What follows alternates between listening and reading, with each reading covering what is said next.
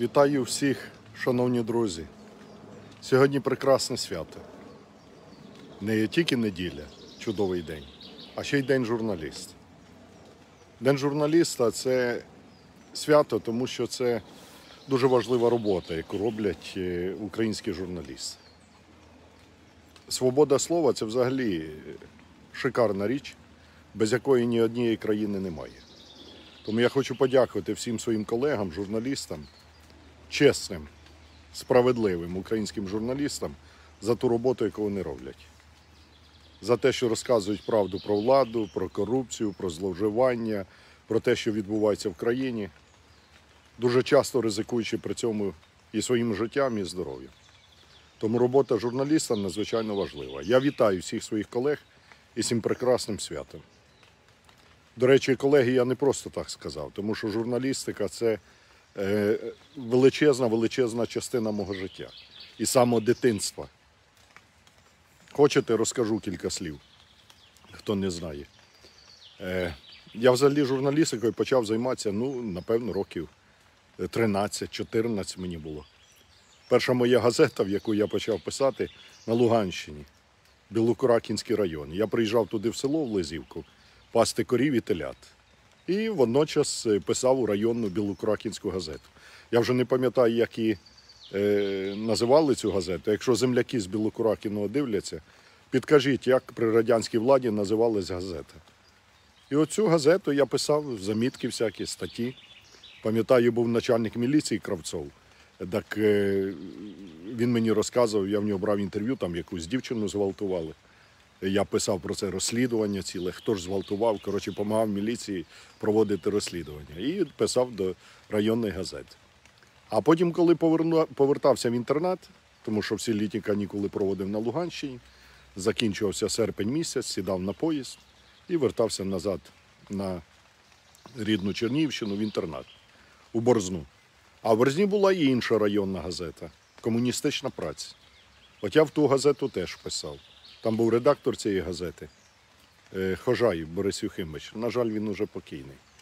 Я вважаю його своїм вчителем взагалі, першим вчителем у журналістиці. Він е, якраз тоді це був 90-й, 89-й рік. Він був в опозиції, будучи членом бюро райкома партії Борзянського. Він був в опозиції до партії. Його то знімали з роботи, то він, е, ну коротше, пресували. Уявляєте, в ті часи пресувати редактора районної газети. Але він такий сильний був, дуже нормальний, порядний. А я вчився в інтернаті в Борзні. І я пам'ятаю, приходжу до хожая. Борис Юхимович, хочу писати до вашої газети. А він дивиться на мене в очках такий, очки отак піднімає, дивиться вусатий, так лоба, голову нахилив, лоба тот каже: А що ж ти будеш писати, хлопче? Ну, кажу, що скажете, те й напишу. Дав він мені якесь завдання, написав я один раз, другий раз. А до речі, перша моя публікація була у Борзнянській районній газеті. Е, Значить, як е, хлопці із сусідньої середньої школи хліб розкидали на полі. Ми поїхали буряки збирати осінню із інтерната, і з середньої школи. І десь там обідали пацани, порозкидали хліб. Ну, я ж борець за справедливість самого дитинства, зразу репортаж написав і в районну газету. Як погано, коли розкидають хліб.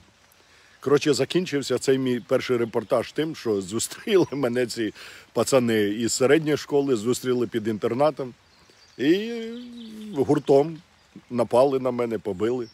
Фінгал під оком поставили. Пару навіть фінгалів, по-моєму, було. Коротше, отак е- мій репортаж про розкиданий хліб на полі закінчився. До речі, коли б'ються ще не, як кажуть, не так і погано, бо синяки зійдуть. А от коли вбивають за журналістику, оце погано. На жаль, у нас в Україні є такий дуже поганий досвід, коли журналістів вбивають за слово. Найвідоміший випадок це Гія Ганадзе. Я його, до речі, знав. Не так близько, е, але знав ті часи. Олександров з Луганська. Ігор Олександров, він тоді був сопкором київських відомостей.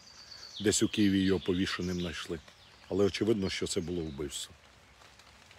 Пам- Пам'ятаєте, е, із е, Слав'янська е, журналіст, директор місцевої телекомпанії, якого теж вбили, а повісили вбивство на бомжа якогось. Вередюка. Заставили, щоб взяв на себе. Загалом в Україні дуже багато журналістів загинуло. Значну частину я знав. Мені пощастило залишитися живим. Хоча, якщо послухати плівки Мельниченка, записи із кабінета Кучми, то моє прізвище там тодішній президент згадував не один раз. Мені і Гурвіс колись мер Одеси розказував.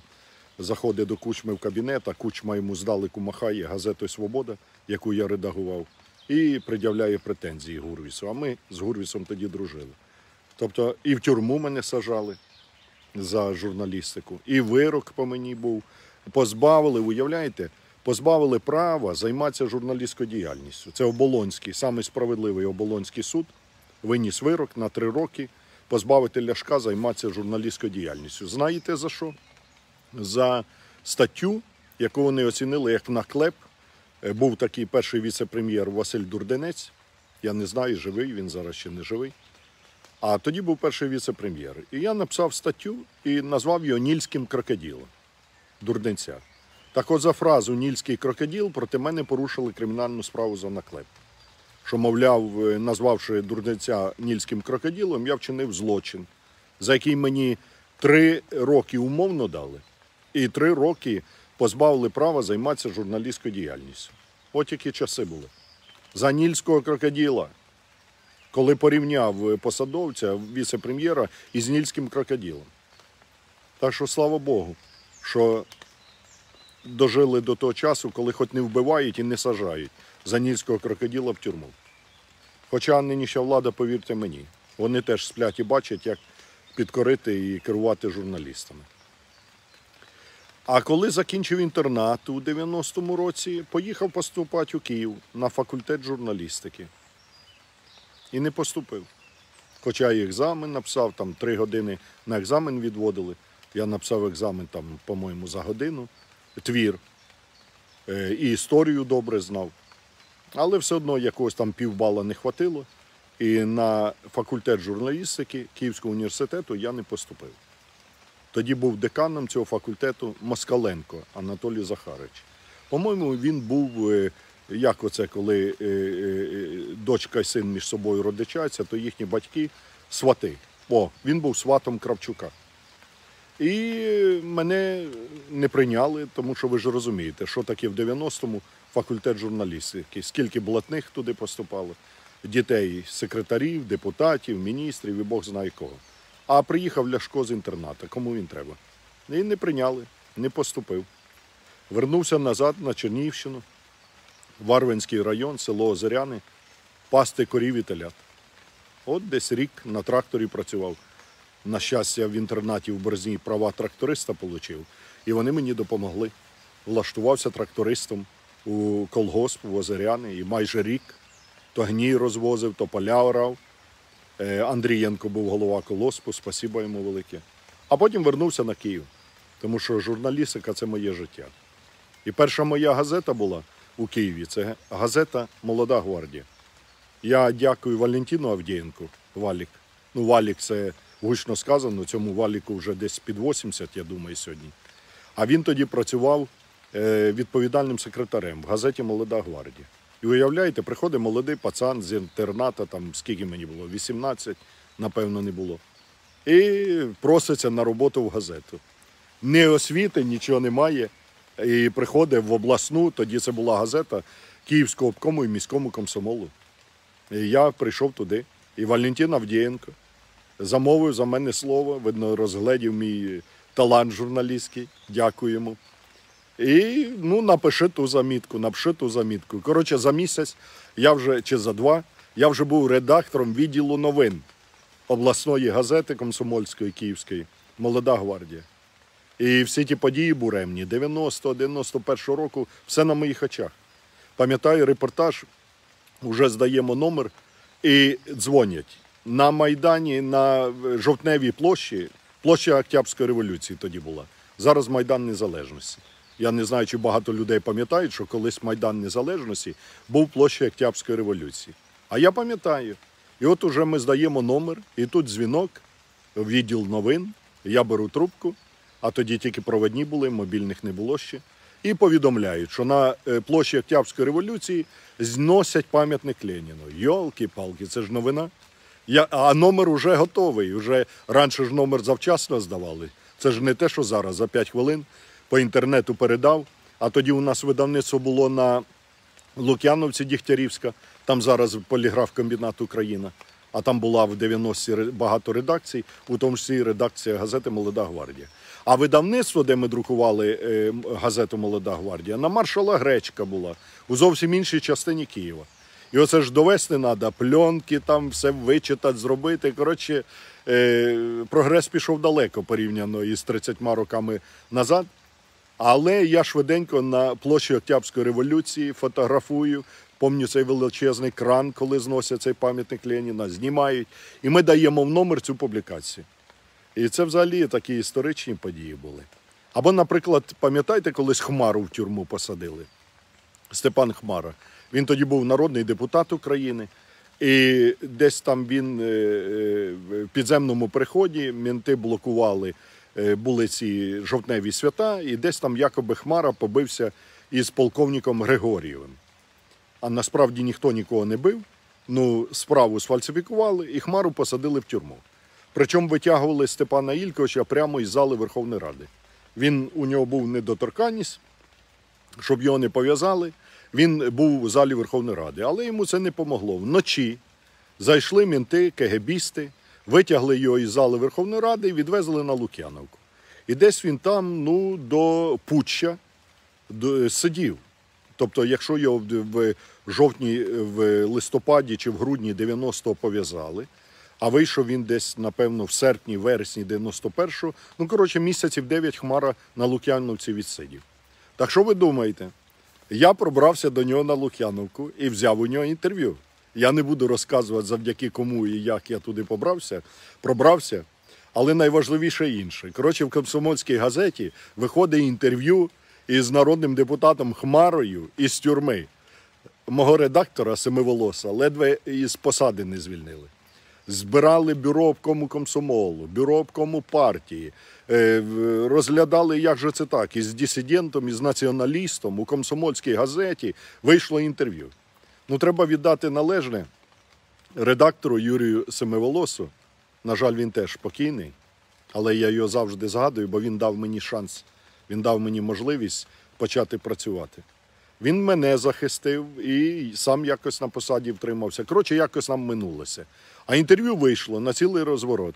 І я думаю, що це в тому числі було і для самого Степана Ільковича важливо, що е, про нього пам'ятали, і що він мав можливість сказати все, е, що хотів. І для мене було важливо, тому що. Знаєте, професійний який азарт, коли ти береш якесь цікаве інтерв'ю, коли його читають, коли його обговорюють, коли за це навіть з роботи звільняють. Це ж просто класика жанра.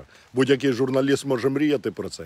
Я пам'ятаю інтерв'ю із Піскуном я робив, по-моєму, е, після революції, 2004 чи 2005 рік. Святослав Піскун хоче утриматися на посаді генерального прокурора. Він, до речі, рекордсмен. Двічі чи тричі, тричі був генеральним прокурором. А я вже редактор газети Свобода. Опозиційна газета до Кучми підтримувала помаранчеву революцію. Ми і на Майдан друкували газети. І от у Піскуна пробивайся, щоб взяти інтерв'ю. І три години беру в нього інтерв'ю. Надрукував мало великий резонанс. Або Вазарова, згадайте цього Вазарова. От зараз там поливає у Москві сидить за гроші ФСБ, розказує херню всяку. А я пам'ятаю Азарова. Е, 2000, е, революція в нас в 2004-му, значить, січень 2005 року. Проходить в грудні напередодні другий, тру- третій тур президентських виборів. Ющенко виграє вибори. Азаров, він тоді виконував обов'язки прем'єр-міністра, дуже хоче втриматися в кріслі. Уявляєте, при президенті Ющенку регіонал Азаров хоче далі керувати урядом. Поперся перед Новим роком, згадайте, на Майдан у помаранчевому шарфіку. І мені інтерв'ю погодився дати. Чому? Тому що хотів на посаді утриматися. І я пам'ятаю, в інтерв'ю ще розказує, що він готов служити новій власті, готов служити страні і так далі. так далі. Ну, правда, йому це не помогло, потурили його, правильно зробили. Але, на жаль, потім він вернувся. Чим це закінчилось, ми зараз всі бачимо. Так що є що задати. Журналістика це прекрасний час. До речі, і саме завдяки журналістиці, е, своїм цим інтерв'ю, знайомствам, е, то все, і потім у політику пішов. І дякую всім, хто був на цьому шляху. А ще пам'ятаю, слухайте, і ще взагалі унікальна історія була. По-моєму, 90 чи 91 рік, уже боюсь помилитися. Е, Головою КГБ України був Микола Михайлович Галушко. Потім, після путчу, цей Галушко виїхав в Росію і навіть був головою там міністром е, государственної безпечності Росії. Я в нього брав інтерв'ю. Оце вперше в житті. Я тоді був на Володимирській в офісі КГБ. Потім після цього я там багато разів був. Коли головою СБУ Турчинов був, я в нього був Олександр. Коли головою е, Грицак був, я в нього був е, як лідер фракції вже. І ще коли я там був, загадую. По-моєму, все. У Турчинова був і в Грицака був. Е, А то перший раз в житті я в КГБ був в 90-му році і брав інтерв'ю голови КГБ. Від газети Молода гвардія приходить молодий хлопець, бере інтерв'ю. А вони ж всі тоді преса, гласність, перестройка, всі хотіли дуже сподобатися. Коротше, я пам'ятаю цей галушко, дарив мені е, балончик із сльозогінним газом. Уявляєте, це зараз ці балончики, пістолети на кожному кросі. А тоді балончик газовий це дуже блатне було. Подарив мені газовий балончик, ще щось подарив. Ну, я зробив з ним інтерв'ю. Потім після путча він виїхав в Росію, був там міністром государственної безпечності, а потім він помер. На жаль, він уже покійний. До речі, я вам хочу розказати одну цікаву історію. Е, як мене вербували. Е, про покійники або нічого, або хорошо. Ну, я цю історію розкажу. Це вперше в житті я про це розказую. Коли я працював в газеті, мене хотіли завербувати. Е, Був такий Анатолій Єрмак. Це партнер був Григорія Мельченка. Вони разом працювали в контрозвідці. На жаль, Анатолій загинув десь в аварії на трасі, по-моєму, в Запорізькій області багато років тому. А Мельченко потім пішов депутатом, став, Єрмак працював в СБУ. В 92-му, здається, році Анатолій мене вербував. Це я зараз розумію, що чітко, а тоді молодий же був, хрень його знає, що він хотів. Значить, е, дзвони. А, я е, хотів взяти інтерв'ю. Якось я там вийшов на нього, беру в нього щось там розпитую, беру інтерв'ю, а він до мене підкатується, типа того, що а чим могли б ми з вами співробітничати, а чим могли б ви там щось помагати, підказувати і так далі. Ну, понятно, що я його зразу послав. Е, Сказав, що ну, е, якщо треба якась допомога, звичайно, звертайтесь. Але е, всякі там співробітництво і тому подібне, це ж не про ляшка. Бо в наступному номері газети можу написати про це Анатолій і вказати ваше ім'я. Він зразу ні, ні, ні, ви мене не так правильно поняли і так далі. Але точно факт вербовки був. Там в архівах СБУ наверняка десь і рапорти його повинні лежати з цього приводу. Так що хай піднімуть, подивляться. Е, і потім, уже, коли через багато років ми там десь зустрічалися, потім він став відомим антикорупціонером разом із Амельченком, робили на цьому політичну кар'єру. І коли мене бачив, завжди відводив очі. Ну і я робив вигляд, типу, що я не пам'ятаю, як мене хотів Єрмак завербувати. Так що була і така історія. Не тільки в тюрму сажали, а ще й вербували. І з тюрми вийшов, завербувати не вдалося, і завжди чесно працював в журналістиці. За що й страждав. Хочу ще одну історію цікаву розказати. В Черкасах. Я думаю, що багато хто пам'ятає газету Свобода, яку я редагував. Це була така крута опозиційна газета до президента Кучми. Кучма давав команди пресувати. Ми, як зайці, бігали по всій Україні, шукали кожний тиждень міняли типографію. Бо всім типографія пішла команда. Хто буде друкувати ляшка, друкувати свободу, типографію закриють, директора посадять, без роботи залишать. Коротше, всі боялись нас як огня. Доходило до того, що підпільно друкували газету і скрепками брали степлер, оскільки не було станка, щоб на е, розвернуту газету друкувати, друкували її на листках, брали степлер, скріплювали чотири аркуші паперу і таким чином е, доставляли газету е, нашим читачам. Я хочу згадати у цій історії з газетою Свобода. Нам тоді дуже-дуже допомагали Е, Якименко Юрій Григорович. Він був тоді директором Союздруку, місто Київ. Що йому не робили? Руки викручували, що тільки не робили, щоб він не брав у кіоски газету. А для нас це було виживання. Ми на цьому гроші заробляли. Тому що якби я не міг продавати газету, ми б не мали б грошей, не міг би заплатити колективу. А в мене чоловік 20-25 працювали. До речі, і Наташа Влащенко в газету дописувала, і багато інших, і Віктор Десятніков, на жаль, покійний. І багато ба- е, е, Дмитро Пономарчук, теж, на жаль, покійний. Андрій Дерепа, е, навіть Дмитро Корчинський писав у газету Свобода. Так що багато-багато відомих людей писали, і всім треба було платити гонорари, тому що безплатно ж ніхто не писав. І, а гроші треба було заробляти. А заробляли то картоплю продавали, то книжки видавали, то ще щось видавали. Щоб платити типографіям, безплатно ж ніхто друкувати не буде. І завдяки Якименку покійному, директору Союздруку, наша газета завжди була в київських кіосках. І йому викручували руки, а він все одно її продавав. І я йому за це щиро вдячний. Якщо він чує там з небес мою подяку, нехай йому буде приємно. А в 2002 році я балотуюсь до Верховної Ради на Печерську. Мої конкуренти від влади Станіслав Сташевський, перший віце-мер Києва. І ми друкуємо газету у Черкасах у видавництві Республіка.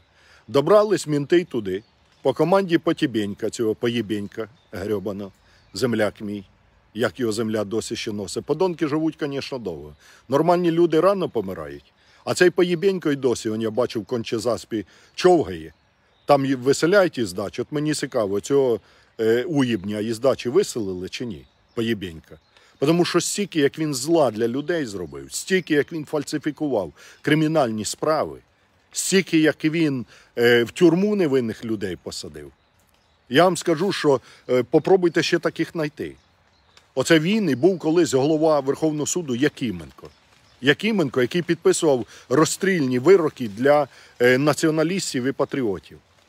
Розстрілювали людей за те, що сьогодні вважається нормою за раніше за любов до України, за любов до жовто-блакитного прапора людей розстрілювали. І цей Якименко був головою Верховного суду РСР і підписував розстрільні вироки для е, патріотів. До речі, іронія долі. Я цього Якименка колись уже старо, немощна, лежачого, паралізованого. Е, я був у нього вдома, він жив тут недалеко від Верховної Ради, вулиця, як же вона називається? На Інститутській. На Інститутській. Блатний дом, але бачите, Господь все одно карає. І мені прийшло повідомлення, що біля під'їзду е, в кроваті винесли, лежить е, чоловік, колишній голова Верховного суду. Я спочатку не повірив. Перепитав, як таке може бути. Да, кажуть, лежить паралізований старець. Я туди швиденько, в Блотниця, Печерський район, е, в центрі Києва, там на розі будинок голубого такого кольору, де е, цей комітети Верховної Ради, кабін, між Кабінетом міністрів і комітетом Верховної Ради. Отам він на третьому чи на четвертому поверсі жив. І його родичі, там діти чи онуки ділили його квартиру, і старого діда, паралізованого, колишнього голову Верховного суду, викинули з квартири, прямо в кроваті винесли у під'їзд е, у дворі е, на Печерську цього будинку. І там його кинули. Сердобольні сусіди подзвонили в, в редакцію газети Свобода Ляшку. Я тут же туди, до того Якименка, сфотографував його, репортаж написав у газеті. І він мені розказував, який він бідний, нещасний, що його діти чи онуки викинули його на вулицю і ділять його квартиру. І що за ним ніхто не доглядає. А я написав про це, і потім ще подзвонив Бойко, голові Верховного суду. Це той, який наступником його був, Віталій Федорович Бойко. Теж, до речі, мій земляк із Чернігівщини. І розказав йому цю історію. Там профспілка Верховного суду якось згадала про цього Якименка. Потім він помер. А я коли його е, фотографував, цього е, старого діда, паралізованого на кроваті під під'їздом власного будинку, я загадував, думав собі, скільки людей він розстріляв, скільки е, вироків несправедливих він зробив. Тому воно все вертається. Спочатку розстрілюють ні за що людей, потім викидають як собаку під під'їзд будинку і лежить паралізований, нікому не треба. Якби не публікація в газеті Свобода, то й подох би там під під'їздом. От те саме і з цим Потебеньком. Я чого, до речі, кажу Поєбенько, а не Потебенько. Він родом із села Голінка Бахмацького району Чернігівської області. Е, Прізвище в нього, насправді він з козацького роду, прізвище в нього Поєбенько. Але ну звучить поєбенько немилозвучно. Вони підробили, значить, поміняли документи, і замість поєбенько став Потєбенько. І оцей Потєбенько робив кар'єру в органах прокуратури УРСР, потім був генеральним прокурором України, незалежної України, навіть, по-моєму, до 94-го року. Так оцей Поєбенько разом, а звідки я знаю, що Поєбенько, тому що ми знайшли архівні записи. І там і написано, що е, Михайло, е, значить, син Олексія Поєбенька, жителя села Голінка. Так оцей Поєбенько е, дав команду сфальсифікувати проти мене справу, щоб посадити в тюрму. У 2002 році е, порушили кримінальну справу знову за якийсь наклеп, увірвалися в видавництво Республіка в Черкасах. 15 мінтов, які беркутівці, які там вилучили тираж газети, і заарештували. А чо? А перед цим машина з іншим першим тиражом зупинили мінти на дорозі між Черкасами і Києвом і втопили. Утопили е, кілька десятків тисяч газет, і втопили просто в річку. Мінти, гаїшники зупинили і втопили, водитель розказав. Ми після цього я поїхав особисто у Черкаси, ми надрукували новий тираж. Вони знову вірвали з друкарню, вилучили тираж. А потім сфальсифікували проти мене і проти Туменка Миколи, це директор видавництва Республіка в Черкасах, сфальсифікували кримінальну справу, що начебто я разом із Миколою Григоровичем Туменком побив цих мінтов. Ви б бачили цих мінтов. Сьогоднішні мінти тільки можуть е, дивитися на них знизу вверх. Два метри ростом, мордаті, пузаті, беркутівці в повній амуніції. А в Соснівський районний суд приходить справа. Ляшко разом із Туменком, а Туменко, щоб ви розуміли, це дід, якому під 70 тоді було, побили 15 мінтов. І ці бики по 2 метри ростом, такі мордаті, що е, я шукаю такий вираз дипломатичний, щоб сказати, що жопа більша, ніж морда у них. І ці бики е, понаписували рапорти. То в того синець е, на жопі, то в того на грудях, то ще десь. Коротше, що ми їм завдали тілесних ушкоджень, і мене за це арештували і посадили. Я 9 діб сидів е, в Черкасах в ІВС. За те, що ми захищали газету. Понятно, що ми ніколи ні- нікого не били. Ми стояли в пройомі видавництва, а вони на нас ломилися. А за це мене на 9 діб посадили. Мене адвокатом була Таня Юськова, яка кожен день їздила з Києва на Черкаси, привозила мені помідори свіжі, огірки, а начальнику ІВС, я вже не пам'ятаю, як його звати, десь там до пенсії було ну, кілька місяців. І він мене просив тільки одне: слухайте, ви тільки не хіпішуйте. Мені кілька місяців до пенсії. Я хочу вийти на пенсію. Я вас буду і в баню кожен день водити. А там в ІВС положено було раз у тиждень в баню. Мене водили кожен день у баню. Я сидів як король. Разом зі мною в камері там сиділо іще три чоловіка. Вони, видно, на свободі так не жили, як зі мною в ці дев'ять діб у камері. Коли один там раніше із камери виїжджав, для нього, по-моєму, це трагедія була. Він готовий був би сидіти ще рік зі мною в камері. Кожний день свіжі продукти Юскова привозила. Її Ленський привозив. Ленський, спасіба тобі, друже. Олексій Ленський, мій друг, товариш і брат, однодумець, багато 25 років у цьому році, як ми з ним дружимо. Таня Юскова, мій адвокат, спасіба їй. Приїжджали, привозили продукти, захищали. Цьому начальнику ІВС кожен день по 50 гривень давали, щоб, значить, е, максимальний комфорт. Там же ви знаєте, то баланду носять, то ще якусь хреновину, що краще померти, ніж її їсти. А нам все носили, і я годував там пів ІВС. І вони всі на ви, по імені отчису, шепотом, тому що там і міжнародні організації, і європейська спільнота, усі піднялися, спасіба їм на мій захист, і через 9 діб мене випустили. Якби не солідарність, журналістка сидів би, може, по сьогоднішній день. Е, Був такий суддя Соснівського суду, який дав мені е, ці 9 діб КПЗ, Кузьменко його прізвище. Взагалі, знаєте, така доля цікава. І от недаром в народі кажуть, не плюй колодязь, бо до води доведеться напитися. Ніколи не знаєш, як вона повернеться земля. От оцей Кузьменко, голова Соснівського суду. Понімав же падлюка, що е, справа проти мене сфальсифікована. Розумів, що нікого ми не били з Туменком, нікому ніяких ушкоджень не задавали, але команду получив, арештував мене на 9 діб.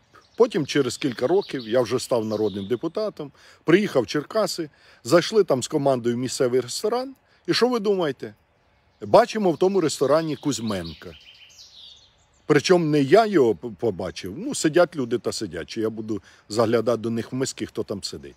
А він мене побачив. І він до мене підходить, я навіть його не пізнав. А він до мене підходить: добрий день. Я Кузьменко, я е, був головою суду там у Сос- Сосновському районі, коли вас судили. Я хочу вибачитися перед вами. Пробачте мене. Та кажу, Господь вас пробачить, я давно забув. Я, до речі, ніколи нікому не мщу. Е, ніхто мене сажав, ніхто переслідував. Багато можливостей було, коли став депутатом, лідером фракції. Багато було можливостей, як кажуть, вернути.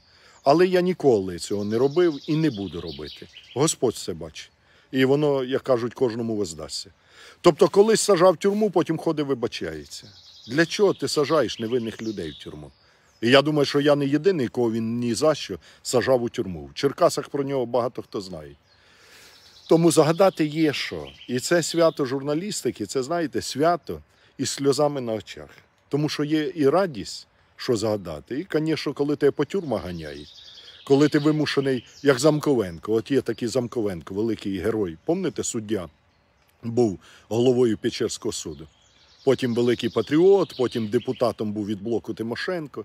Так от оцей Замковенко у 2000 році видав ордер на мій арешт по команді влади. Мене тоді судили, е, мене судили, і він видав ордер про мій арешт за наклеп. Розумієте? За наклеп людей в тюрму сажали. Я вимушений був там їхати через е, різними дорогами, коротше, в Лондон вилетів через Москву. І майже два місяці жив в Лондоні, в Британії. Ну, а хто хоче в тюрмі сидіти? Потім, коли вони скасували цей ордер, я вернувся назад в Україну. Так що історія така, журналістика дуже непроста справа. Для тих людей, хто справді е, журналіст, для тих людей, хто справді хоче докопатися до правди, до істини, це величезна небезпека. Одних убивають, інших сажають. Ось сьогодні влада хоче те саме накинути намордник. Отам шашлички готують, роздають журналістам. А насправді намагання накинути намордник на журналістів щоб розказували те, що вигідно владі, те, що потрібно владі, щоб мовчали про е, правду, яка е, в Україні є, про діяльність влади.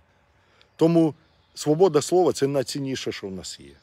Тому я дякую всім журналістам, які завдяки їхній роботі в Україні є свобода слова, в Україні є демократія, в Україні є можливість людям отримувати правду.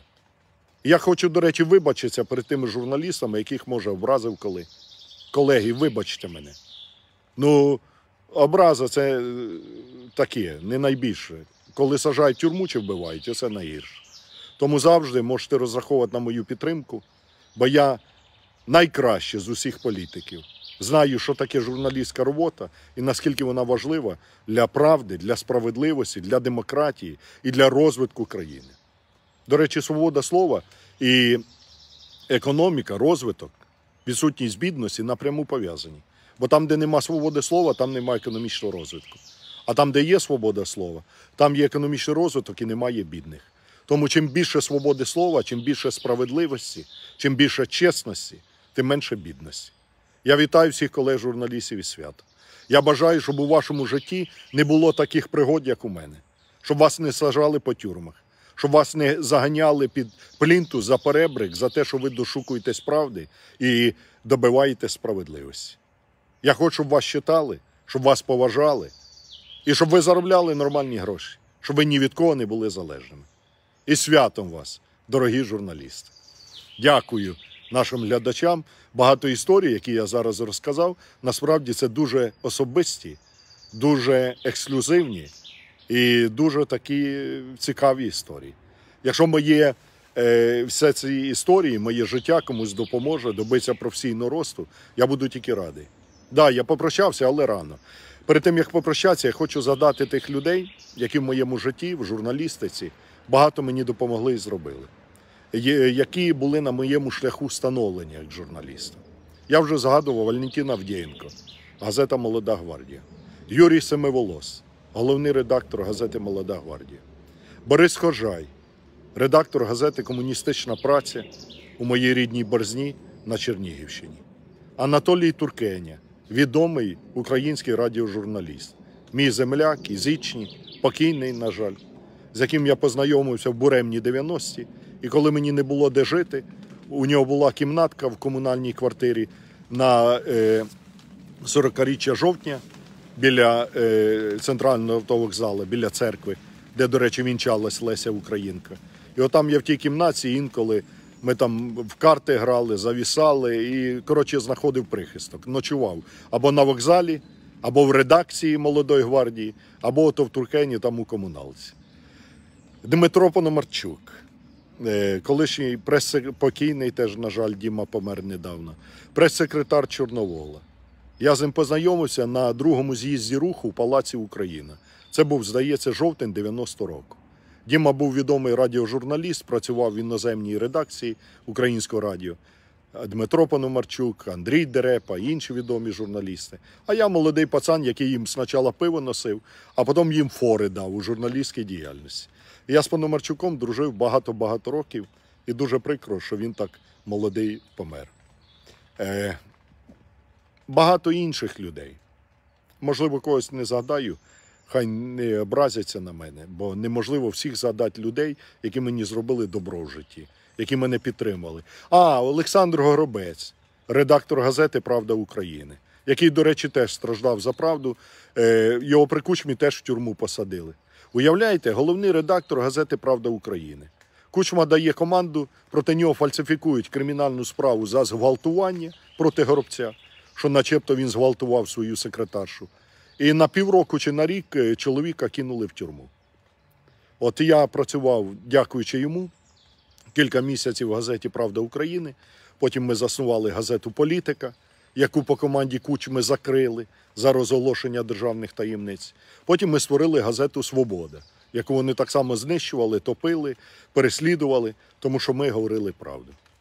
Тому, журналісти, колеги, говоріть завжди правду, чого б це не коштувало. Тому що ваша правда треба українцям, ваша правда треба Україні. Ваша правда і ваша боротьба за справедливість треба для процвітання України і для того, щоб влада не була корумпована. От чим більше ви витягуєте на світло, тим менше корупції і брехні у владі. Я бажаю вам сил, успіхів і творчих злетів, щоб, як мінімум, е, через один з вас отримали пуліцерівську премію або хоча б премію Ганадзе. Теж стає непоганою. Тому успіхів вам і з святом, з професійним святом, дорогі колеги.